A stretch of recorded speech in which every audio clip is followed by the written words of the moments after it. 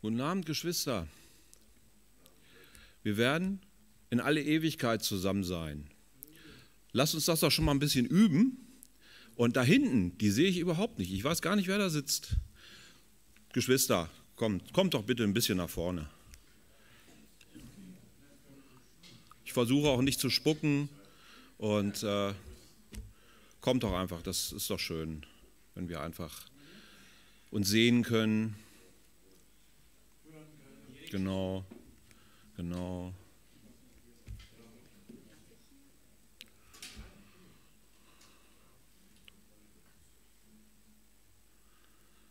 Robert, Junge, schön dich zu sehen. Mensch, bist keinen Tag gealtert. Gut. Ähm, Geschwister, wir sind eigentlich, eigentlich im dritten Buch Mose, Kapitel 2. Aber ich habe mir das angeguckt und da hätte ich einfach ein bisschen mehr Zeit gebraucht, um mich da wirklich ein bisschen reinzulesen und ähm, die Zeit war einfach nicht, nicht da.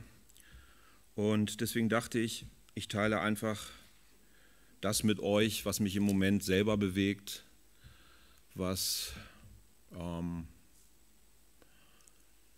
ich lasse euch ein bisschen an meinen Gedanken, an meinen Kämpfen teilhaben. Ich hoffe, dass euch das nicht langweilt. Ähm, aber mh, hm, wenn Gott es lebendig macht, es geht ja auch nicht um mich hier. Es geht ja nicht um mich, es geht um Jesus und das, was er tun will und kann.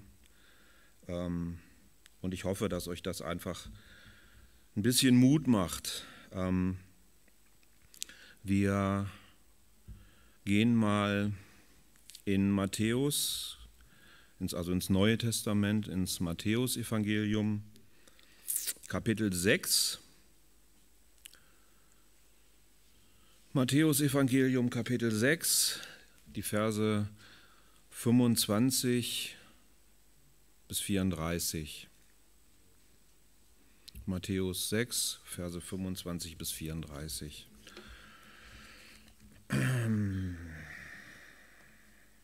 Hier spricht Jesus. Darum sage ich euch, sorgt nicht um euer Leben, was ihr essen und trinken werdet, auch nicht um euren Leib, was ihr anziehen werdet. Ist nicht das Leben mehr als die Nahrung und der Leib mehr als die Kleidung? Seht die Vögel unter dem Himmel an. Sie sehen nicht, sie ernten nicht, sie sammeln nicht in die Scheunen, und euer himmlischer Vater ernährt sie doch. Seid ihr denn nicht viel mehr als sie? Wer ist unter euch, der seines Lebens Länge eine Spanne zusetzen könnte, wie sehr er sich auch darum sorgt? Und warum sorgt ihr euch um die Kleidung? Schaut die Lilien auf dem Feld an, wie sie wachsen. Sie arbeiten nicht, auch spinnen sie nicht. Ich sage euch, dass auch Salomo in all seiner Herrlichkeit nicht gekleidet gewesen ist wie eine von ihnen. Wenn nun Gott das Gras auf dem Feld so kleidet, das doch heute steht und morgen in den Ofen geworfen wird, sollte er das nicht vielmehr für euch tun, ihr Kleingläubigen? Darum sollt ihr nicht sorgen und sagen, was werden wir essen? Was werden wir trinken? Womit werden wir uns kleiden? Nach dem allem trachten die Heiden. Denn euer himmlischer Vater weiß, dass ihr all dessen bedürft. Trachtet zuerst nach dem Reich Gottes und nach seiner Gerechtigkeit, so wird euch das alles zufallen. Darum sorgt nicht für morgen, denn der morgige Tag wird für das Seine sorgen. Es ist genug, dass jeder Tag seine eigene Plage hat. Diese Verse sind in meiner Bibel unter, also unter der Überschrift vom Schätze sammeln und sorgen. Ähm, wenn wir das lesen hier in Vers 25, sorgt nicht um euer Leben, was ihr essen und trinken werdet, auch nicht um euren Leib, was ihr anziehen werdet. Letztendlich beschreibt er hier doch eigentlich das Leben von uns Menschen in dieser Welt. Wir alle brauchen Nahrung oder braucht hier jemand keine Nahrung? Wir alle brauchen ein bisschen was anzuziehen. Ähm, und letztendlich dreht sich unser Leben als Menschen ein Stück weit darum. Was kriege ich zu essen? Was habe ich zu trinken? Ich würde noch Wohnung dazu, dazu äh, fügen. Ich brauche ein Dach über dem Kopf, das ist ganz wichtig, gerade im Winter, wenn es kalt wird. Ähm, diese Dinge bestimmen uns ein Stück weit. Auch als Kinder Gottes, da kommen wir nicht raus. Es sei denn, du bist äh, als Millionär auf die Welt gekommen, du hast sehr, sehr reiche Eltern, wo diese Dinge eigentlich keine Rolle spielen. Aber ich glaube, das ist kaum jemand von uns hier, würde ich mal behaupten. Ähm, die meisten von uns stehen morgens auf mit mehr oder weniger Spaß, gehen in den Tag, Arbeit ist ja auch nicht unbedingt immer leicht. Es ist, es ist ja Fluch letztendlich. Ähm, aber wir kommen da nicht raus. Und Gott möchte das auch, dass wir losgehen und unser Brot verdienen. Wenn du es nicht kannst, aus irgendwelchen Gründen auch immer, überhaupt kein Problem. Ich will hier keinem irgendwie zu nahe treten oder Druck machen. Wenn du keinen Job findest oder weil du kannst aus irgendeinem Grund gesundheitlich nicht arbeiten, dann streck dich nach Gott aus. In seinem Reich gibt es eine Menge zu tun. Er kann jeden, egal wer es ist, er kann jeden gebrauchen. Jeden. Da gibt es keine Ausrede. Zu alt, zu krank, zu dick, zu dünn, nicht intelligent genug, was auch immer. Nee. Gott möchte, dass wir Aufgaben haben in unserem Leben. Wenn du als Mensch, vielleicht hat der eine oder andere die Erfahrung gemacht, dass er eine, Phase hat in seinem Leben, wo er morgens aufgestanden ist und sich gesagt hat, was soll ich jetzt mit diesem Tag? Da ist eigentlich nichts, was, was auf mich wartet, keine Herausforderung, keine Aufgabe, eigentlich nichts zu tun. Und ich lebe in diesen Tag rein und ich sage euch, das mag sich gut anhören, aber das ist furchtbar sich treiben zu lassen, irgendwie durch den Tag zu kommen. Das ist nicht das, was Gott für uns hat. Auf keinen Fall. Und ähm,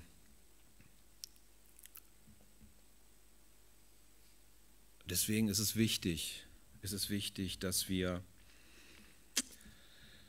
ja, uns von Gott einfach zeigen lassen, wo ist mein Platz, wo ist meine Aufgabe. Ja. Ähm, also wie gesagt, das sind Dinge, die uns alle ja mehr oder weniger beschäftigen und auch viel beschäftigen. Also ich meine, die meisten von uns, die arbeiten echt viel hier. Ähm, und du machst es ja nicht in erster Linie, weil du Spaß dran. Klar, es gibt auch äh, Leute, die Spaß an der Arbeit haben. Dann seid ihr echt, seid ihr wirklich gesegnet. Aber es ist nicht bei jedem so. Also es, sind, es ist auch ein Kampf. Also ähm, mancher hat einen Job, den er sage ich mal ganz krass, zum Kotzen findet. Aber du machst es, weil du ja versorgt sein willst. Ähm, und Gott hat dir alles gegeben, was du dazu brauchst. Er hat dir Hände gegeben, er hat dir Füße gegeben, er hat dir einen Verstand gegeben, den du in deinem Job auch einsetzen kannst und sollst. Und du sollst deinen Job gut machen. Ähm, er segnet das. Er segnet dich in deinem Job, wenn du die richtige Haltung dazu hast. Ähm, aber warum sagt Jesus hier ähm, in Vers 25, sorgt nicht um euer Leben, was ihr essen und trinken werdet, auch nicht um euren Leib, was ihr anziehen werdet. Das ist doch, wieso? Wir, wir, wir sorgen uns doch darum. Wir sorgen uns doch jeden Tag darum, was wir, was wir dass der Kühlschrank voll ist, mehr oder weniger, dass, ähm, dass wir versorgt sind. Da kümmern wir uns doch drum, da machen wir uns doch Sorgen drum. Was, warum sagt er jetzt hier, äh, das könnte ja ein Freibrief sein, das könnte man ja auch missverstehen. Ich brauche mich um nichts zu sorgen, ich lege mich jetzt hin und Gott versorgt mich schon. So ist das nicht gemeint, tut mir leid. Ähm, Sorgen, und jetzt komme ich eigentlich auf diesen Punkt. Sorgen. Kennst du Sorgen? Bist du manchmal vielleicht nachts, liegst du nachts wach, weil du dir Sorgen machst? Weil du mit einer bestimmten Sache, mit einem bestimmten Problem nicht fertig wirst?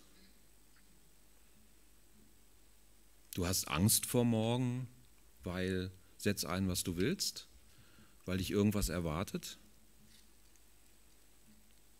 Wir haben Sorgen, auch als Kinder Gottes. Das kann mir keiner erzählen dass wir hier alle so geistliche Überflieger sind, dass wir alles im Griff haben. Haben wir sowieso nicht. Ich hoffe, dass Gott uns im Griff hat, aber wir haben die Dinge nicht im Griff. Und das habe ich in der letzten Zeit, ich spreche da ganz offen, sehr schmerzhaft erleben müssen, dass ich die Dinge nicht im Griff habe. Dass Dinge ins Leben kommen können, wo du am Rotieren bist, wo es auch nicht so einfach ist. Und wir leben ja nun mal in einer Zeit, gut, die Zeiten waren nie einfach. Das Menschen, äh, früher haben es auch nicht einfacher gehabt. Das, da sollten wir uns nichts, nichts vormachen oder so. Das, das Leben war nie, in dieser Welt war das Leben nie leicht. Warum nicht? Weil diese Welt unter der Sünde steht und weil der Fürst dieser Welt kein guter Fürst ist. Es gab immer Auseinandersetzungen, immer Kriege, immer Hass. Das Böse ist nach wie vor existent. Deswegen sind alle Zeiten schwer. Gut, es gibt Zeiten in unserem Leben, in unserem persönlichen Leben auch, wo alles schön fließt, wo es ruhig ist, wo wir scheinbar keine Probleme haben. Aber ich sage hier, das bleibt bleibt meistens nicht so. Also irgendwas kommt. Irgendwas kommt.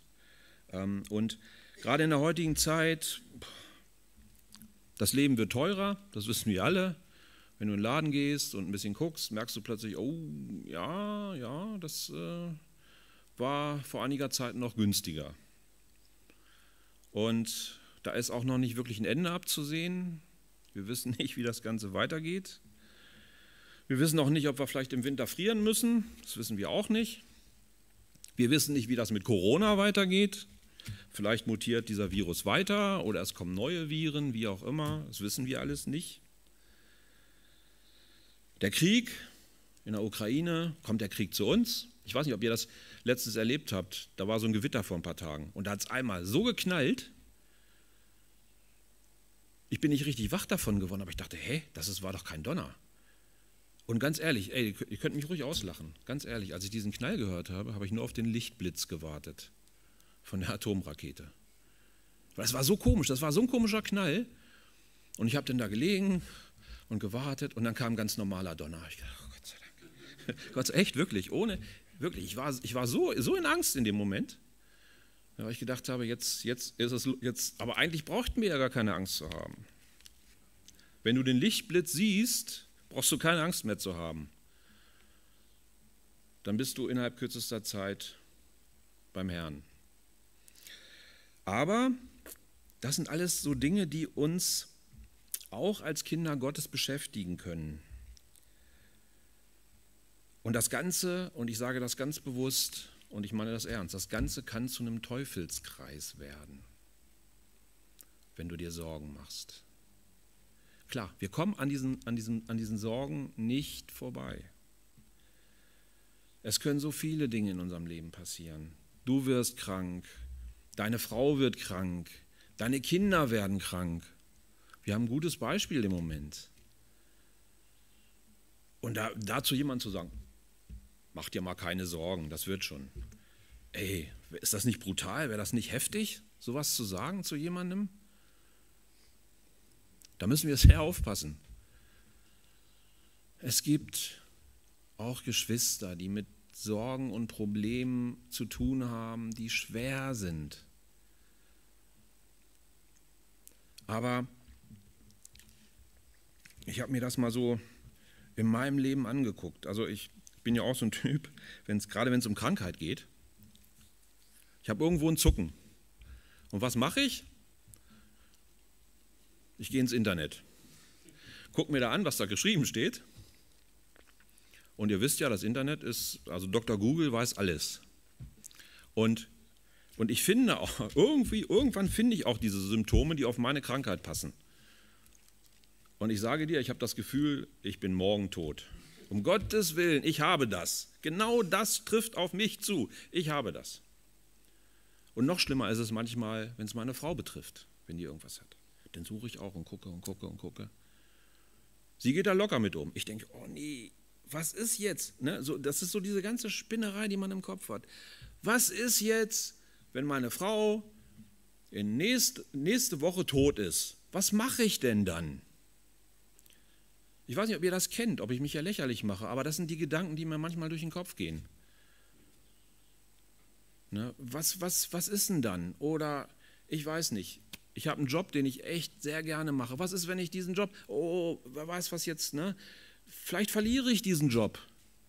Oder ich weiß nicht. Ich kann mir meinen, meinen guten, teuren Kaffee irgendwann nicht mehr kaufen. Das wäre die größte Katastrophe. Ne? So den, den ich so liebe, oh, der wird mir zu teuer, ich kann es nicht mehr. Aber das sind Dinge, die sind noch gar nicht real. Die habe ich einfach nur in meinem Kopf. Es könnte sein. Das ist das Bescheuerte dabei.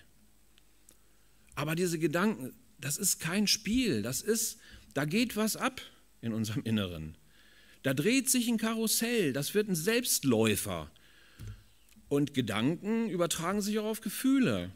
Und Gefühle werden dann von Angst bestimmt. Und Angst, wissen wir alle, Angst ist nichts Schönes. Angst vernebelt uns, Angst lebt uns. Das sind alles so Dinge, die, die ich gerade in der letzten Zeit so, so irgendwie immer wieder so durch, durchkaue. Ich falle immer wieder in diese Falle rein. Da kommt irgendwas und ich, ich, bei mir dreht sich das sofort und da wird ein Riesending draus. Es könnte so sein. Und dann kommt irgendwann der Punkt, wo es so ist, ja, es wird so sein.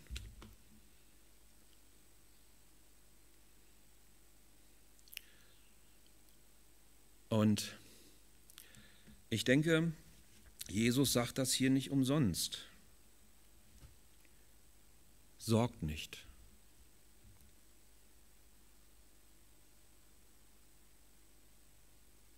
Ist er lebensfremd? Weiß er nicht, was er hier sagt?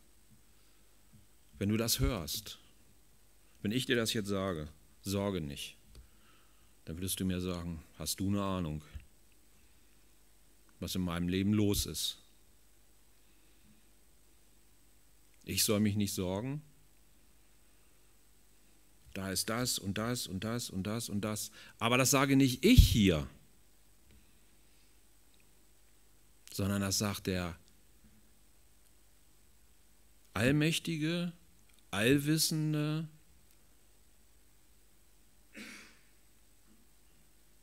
Gott, der sagt das hier.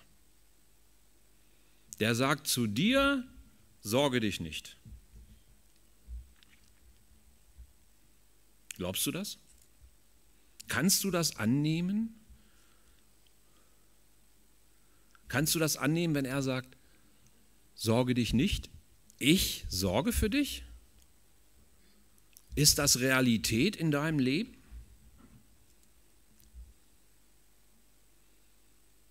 Was ist, wenn ein Problem auf dich zukommt. Ich meine, wir sind, wir sind ja nicht hirnamputiert. Also bestimmte Dinge, Probleme in unserem Leben, die können wir, dazu, dazu hat Gott uns einen Verstand gegeben, die können wir selber regeln.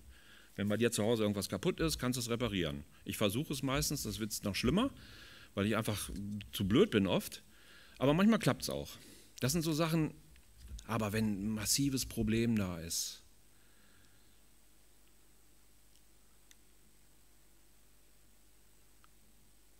Ich sage euch das einfach nochmal so, einige wissen das. Ich, ähm, vorletzte Woche war ähm, mein Schwager bei mir und ich habe eigentlich drei Schwestern. Eine, eine schon gestorben vor einiger Zeit und mein Schwager war da und sagte mir dann, deine älteste Schwester liegt im Krankenhaus auf der Palliativstation, sie ist voll mit Metastasen, sie wird nicht mehr lange leben. Da bin ich zusammengebrochen. Da bin ich regelrecht richtig zusammengebrochen. Habe angefangen zu flennen. Und war völlig überfordert in der Situation. Ich war, mir wurde wirklich regelrecht der Boden unter den Füßen weggezogen. Und da habe ich nicht, in, ich muss euch das bekennen, ich habe nicht sofort gesagt, so jetzt muss ich zum Herrn, legt das ab bei ihm. Er hat ja gesagt, ich soll mich nicht sorgen, ich lege das ab und gehe fröhlich meinen Weg weiter. Das war hart, das war so hart, das hat so wehgetan. Obwohl wir uns lange Zeit nicht gesehen haben. Wir sind eine relativ kaputte Familie, wir haben uns lange nicht gesehen, aber wir sind Geschwister. Und das habe ich ganz, ganz stark gespürt in dem Moment. Wir sind als Kinder auseinandergerissen worden, aber wir haben eine Zeit zusammen gelebt und auch später noch. Wir haben auch auch später noch zusammengelebt und dann haben wir uns längere Zeit nicht gesehen. Und dann kam so dieser Punkt, wo ich wusste, ich muss dahin, ich muss dahin, ich muss ihr begegnen. Aber wie, wie soll ich das machen?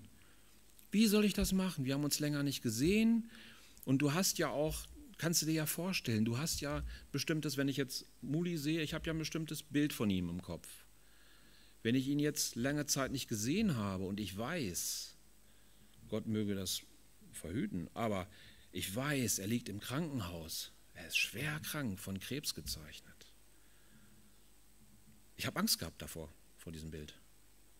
Man, ich habe, wie gesagt, ich habe ein Bild im Kopf gehabt und dann komme ich ins Krankenhaus. Was soll ich sagen? Wie soll ich jetzt anfangen zu trösten? Soll ich jetzt, was, wie, wie soll das Ganze werden? Was soll ich machen? Ich war so ein Häufchen Elend, habe gedacht, ich kann, ich kann hier nichts. Jesus, du musst wirken, du musst jetzt hier übernehmen. Und das hat er auch getan. Das hat er getan. Meine Schwester ist nicht bekehrt, aber ich hoffe und bete und einige Geschwister auch mit mir, dass Gott sie erreicht. Dass Gott sie erreicht, die hat so ein schweres Leben gehabt. Dass Gott sie erreicht, dass sie zu ihm geht. Und das sind so Sachen, die können bei jedem von uns im Leben auftreten. Dass du plötzlich eine Situation hast, wo, dir, wo du keine Luft mehr kriegst, wo du mitten im Sturm bist. Du bist mittendrin, du siehst kein Land. Ich glaube, das hat schon mal der eine oder andere erlebt. Das weiß ich auch von einigen. Wo du nichts siehst, wo du keine Hoffnung siehst, wo es dunkel um dich rum ist.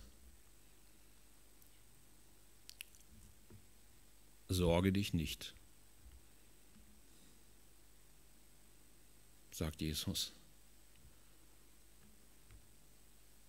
Sorge dich nicht.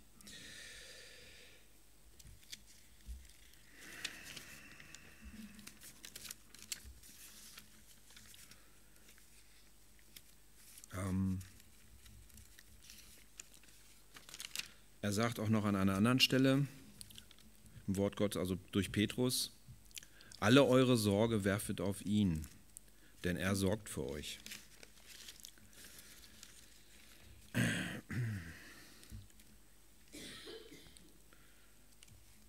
Du hast jemanden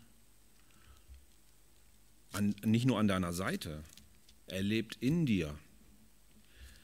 Du hast jemanden, das sage ich dir einfach, weil ich, das, weil ich da von felsenfest überzeugt bin, und das sagt doch das Wort Gottes. Da ist jemand, der dich unheimlich liebt, der genau dich sieht, in deiner Not, in deinen Problemen, der liebt dich so sehr, nimm das an. Auch wenn du im Moment durch Tiefen gehst, wenn du Schmerzen hast, was auch immer, da ist jemand, der dir, der dich liebt und nicht nur der dich liebt, sondern der viel, viel tiefer gelitten hat, als du es jemals kannst. Das mag kein Trost sein, aber er weiß, wie es uns geht.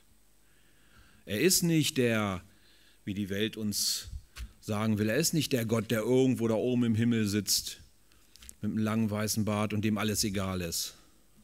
Nee, das ist er nicht. Das ist nicht unser Gott. Unser Gott ist auf die Welt gekommen als Mensch und ist am Kreuz verreckt. Das ist unser Gott. Aus Liebe zu uns, zu dir.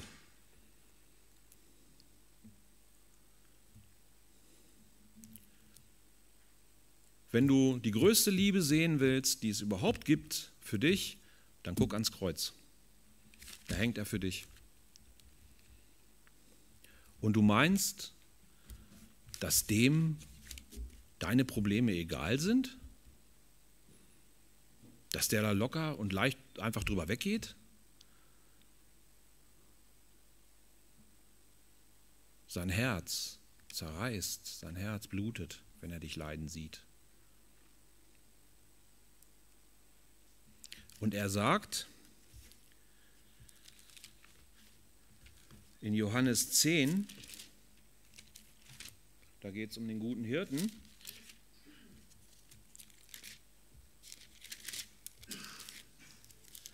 den guten Hirten, ey, das müsst ihr euch reinziehen, also das müsst ihr lesen, der gute Hirte.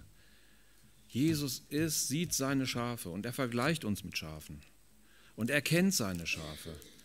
Er hat jeden im Blick, auch die, die sich verlaufen haben. Er sieht dich. Und wenn du dich verletzt hast, so wie das ein Hirte macht, ein guter Hirte,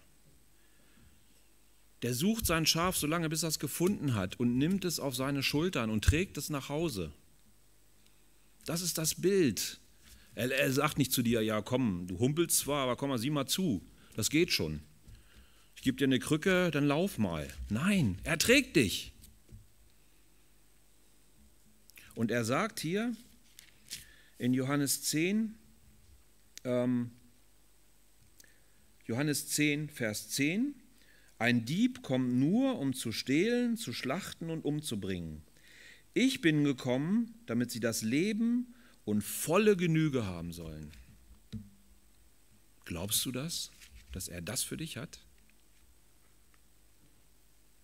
Leben und volle Genüge? Reich in ihm? Oder denkst du im Moment, ja, pff, Konto ist leer, ich weiß nicht, ich weiß nicht, wie es weitergeht, da ist das und das und das und das in meinem Leben, volle Genüge.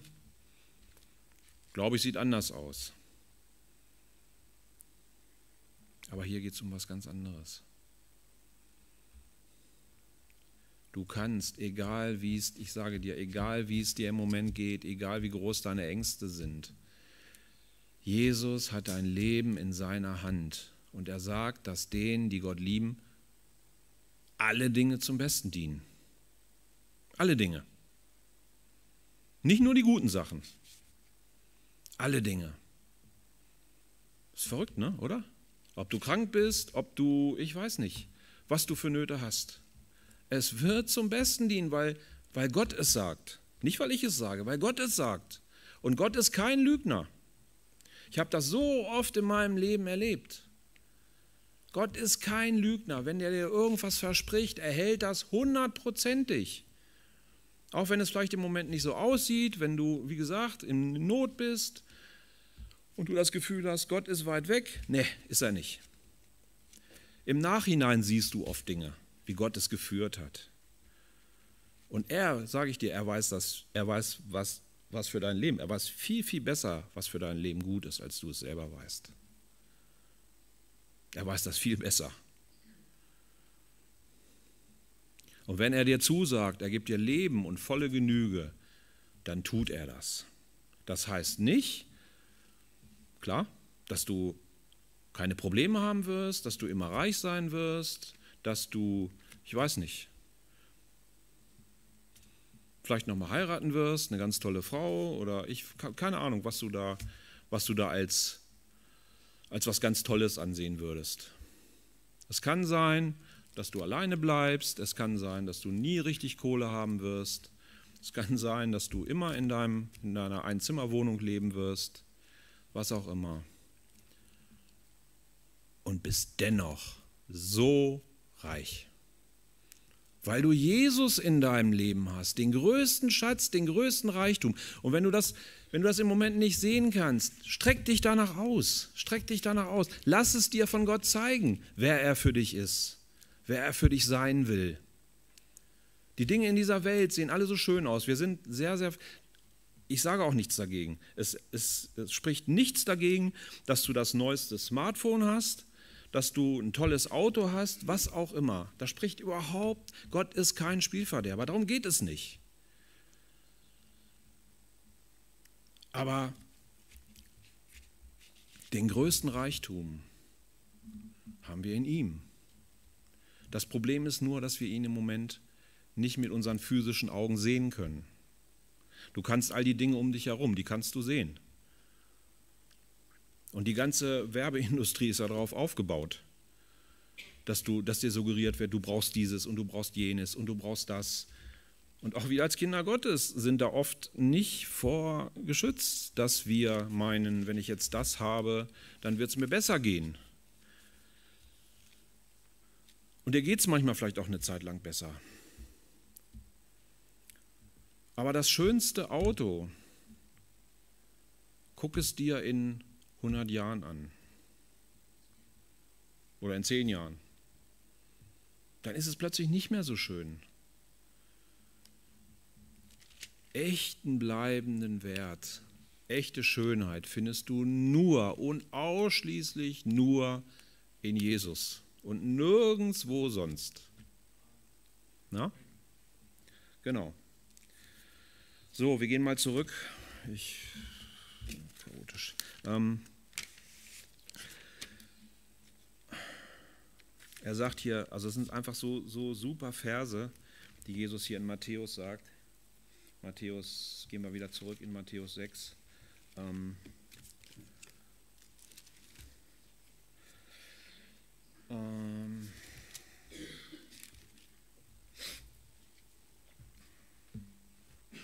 Seht die Vögel unter dem Himmel an.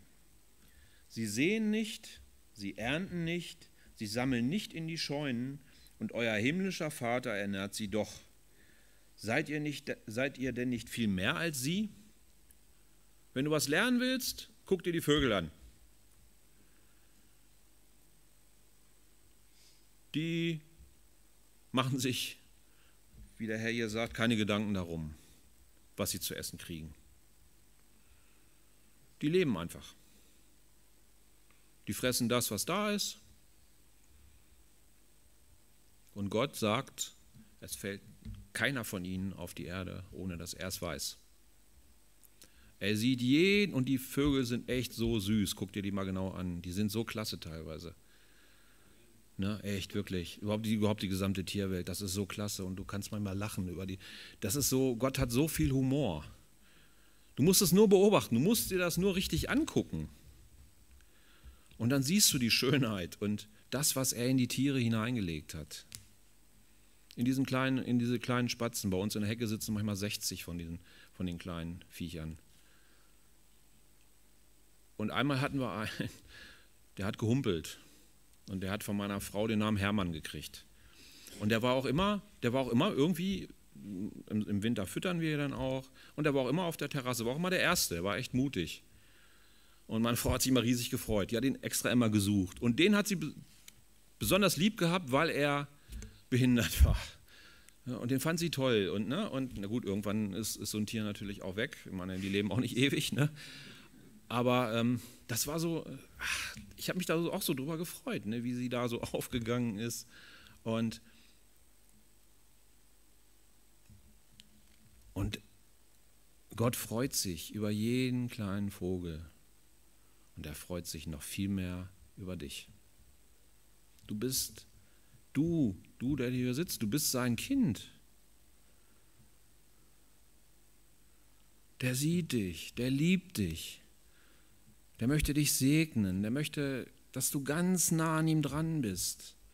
Er möchte mit dir reden, er möchte Gemeinschaft mit dir haben, er möchte mit dir kommunizieren.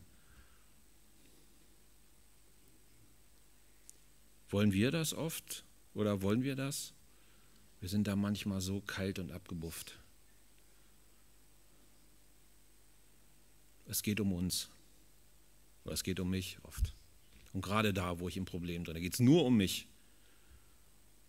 Nur um meine Sorgen, nur um mich. Und keiner hat so große Sorgen, wie ich sie habe. Was für ein Quatsch. Ich brauche dann nur in, meinem, in meinen Job zu gehen und dann sehe ich Menschen, die Probleme haben. Klar, natürlich, ich will jetzt kein, hier keinem zu nahe treten. Natürlich, es gibt bei jedem von uns Probleme. Aber manchmal, wenn mir Leute dann ihre Probleme erzählen, dann denke ich, boah, ey. Und das Ganze ohne den guten Hirten. Weißt du, wir haben die kleine Clara im Krankenhaus von Jordans. Die hat es schwer, die Kleine. Die hat es wirklich schwer. Da sind die Eltern, da ist eine ganze Gemeinde und viele andere, die für sie beten. Es gibt junge Frauen in der MH, die ganz alleine mit ihrem Kind da sind.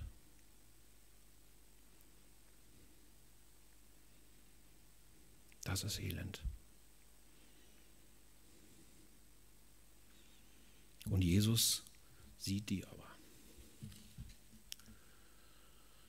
Und er möchte, dass unser Herz davon bewegt wird. Da bin ich fest von überzeugt. Von der Not um dich herum. Mach die Augen auf. Mach die Augen auf. Guck weg von dir selbst. Manch, also häufig, häufig sind wir so auf uns fixiert.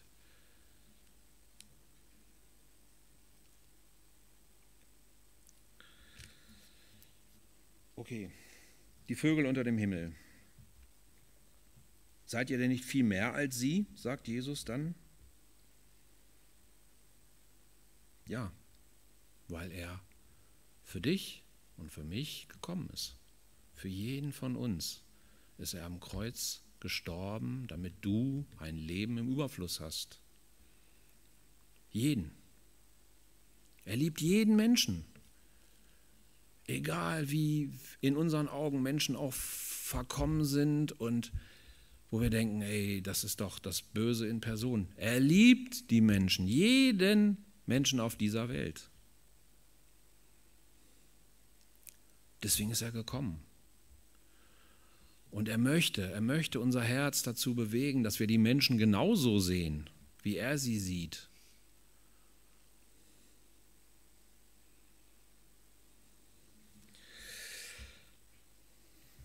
Dann sagt er, in Vers 27 im Kapitel 6.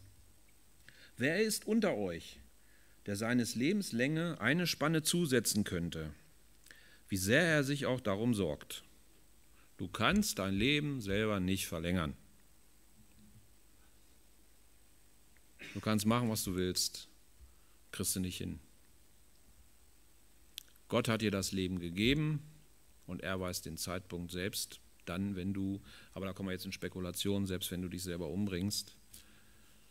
Gott hat dir das Leben gegeben und wenn der Zeitpunkt kommt, ist das Leben zu Ende. Das kannst du, du kannst da nichts, nichts dran ändern. Und warum sorgt ihr euch um die Kleidung? sagt er in Vers 28. Schaut die Lilien auf dem Feld an. Wie sie wachsen, sie arbeiten nicht, auch spinnen sie nicht. Eine Lilie, ey, es gibt Lilien, boah, die sehen klasse aus. Wahnsinn, Wahnsinn, was für eine Schönheit Gott da hineingelegt hat. Das ist so klasse. Ey, da kannst du davor stehen und oder dich hinsetzen und ey, du kannst Gott nur anbeten über so eine Schönheit, ne? Ey, wirklich, ne? So. Und in ein paar Wochen, wie sieht die Lilie dann aus? Nicht mehr ganz so schön. Ne? Also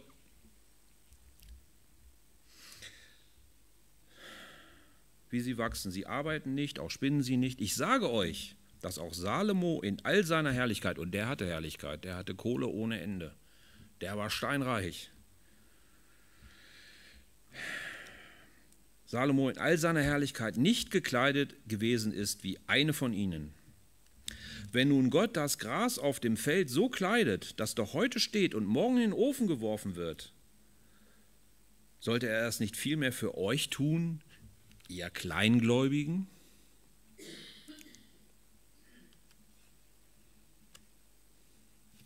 Gott sagt uns hier, ey, ich habe die Lilie auf dem Feld gemacht, die nur eine kurze Zeit da ist. Du wirst ewig leben. Meinst du, ich, ich bin nicht in der Lage, mich um dich zu kümmern?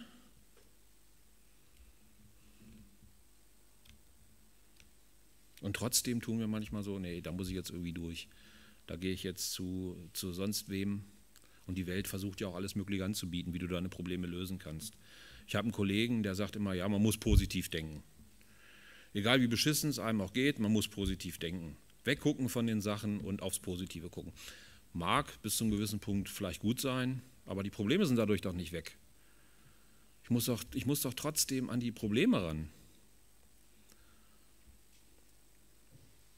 Und die Welt bietet alles an, also oder versucht dir zu erzählen, wenn du das und das hast, dann sind deine Probleme. Wenn du die und die Versicherung hast, bist du abgesichert. Wenn in 30 Jahren, es könnte sein, dass in 30 Jahren deine Rente nicht reicht, dann musst du jetzt schon mal ein bisschen was, was zusätzlich einzahlen, damit du versorgt bist. Und, und, und. Die Welt möchte dich rundum absichern. Das rundum sorglos Paket. Und das kann und wird wie ein Kartenhaus zusammenbrechen. Wir wissen nicht, was morgen ist, das wissen die auch nicht. Auch die Medien nicht, die erzählen, im Herbst wird das und das sein und ich weiß nicht was. Das wissen, wissen wir alle nicht.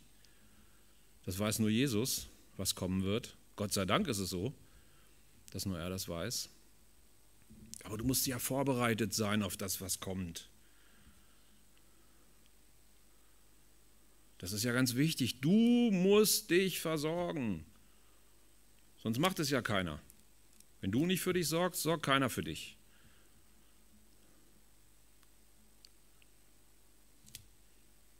Die Welt, für die Welt ist es, ist es leider häufig auch so. Wenn du diesen guten Hirten nicht hast, dann guckst du, wo du bleibst. Dann gehst du mit Ellbogen durch die Gegend damit du ja nicht zu kurz kommst. Aber das brauchen wir nicht. Du hast nichts dagegen, dass du eine Versicherung hast. Kannst du gerne haben, ist überhaupt kein Problem. Aber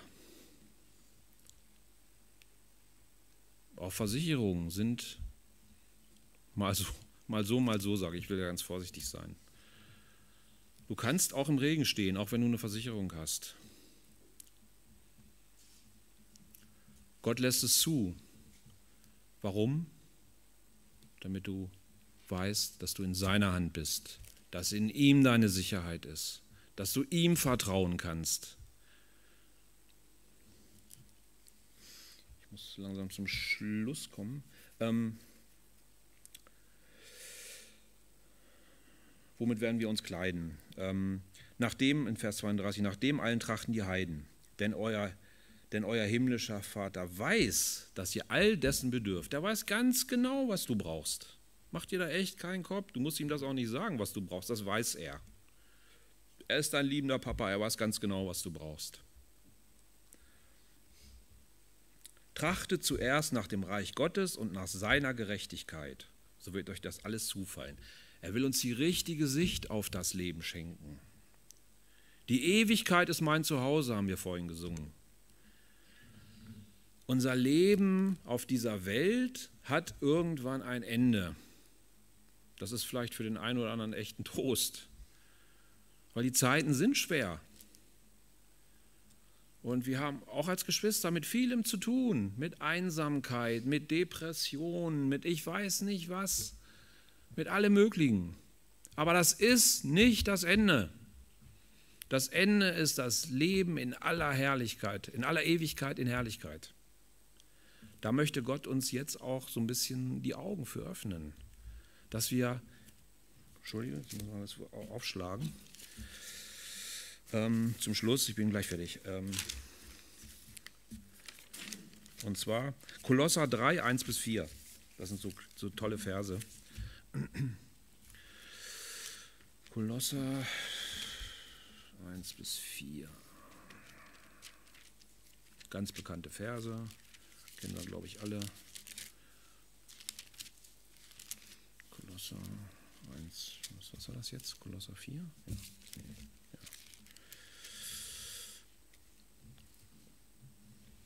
Kolosser 3, 1 bis 4.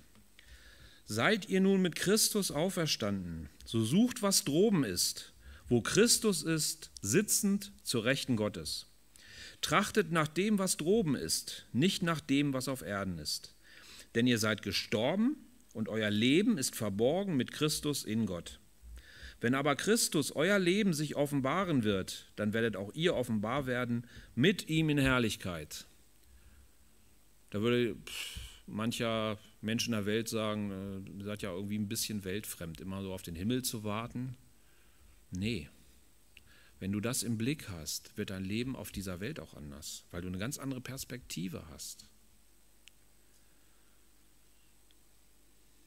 Du, der Sinn und Ziel ist erstens, dass wir Christus ähnlich werden. Das ist eine, eine Schule, in der wir hier sind.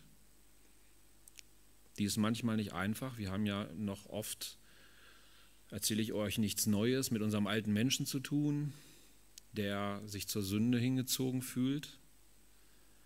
Ähm, und den Geist Gottes in uns, das neue Leben, was in uns gezeugt ist. Und die beiden stehen so ein bisschen im Konflikt miteinander. Es ist nicht leicht auf dieser Welt, aber Gott bereitet uns zu für die Ewigkeit dass all das, was du hier erlebst, ist nicht sinnlos. Wenn du deinen Blick nach oben richtest, kriegst du die richtige Perspektive.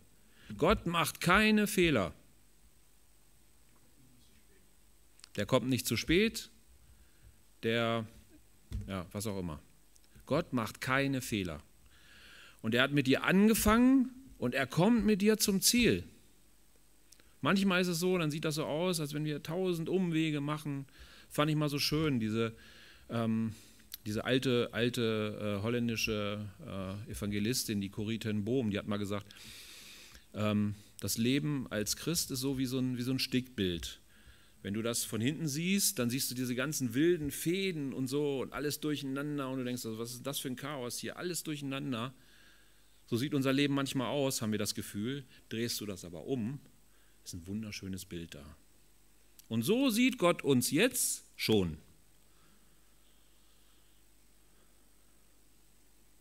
Lasst uns auf ihn sehen und uns auch, wer weiß, wie lang unser Leben auf dieser Welt noch ist, von seiner Liebe erfüllen lassen, damit diese Liebe aber nicht, die ist nicht nur für uns da. Sie muss raus zu den Menschen da draußen. Ein Leben ohne Jesus, schrecklich, ohne Hoffnung, gehetzt, einsam. Die brauchen den guten Hirten. Amen.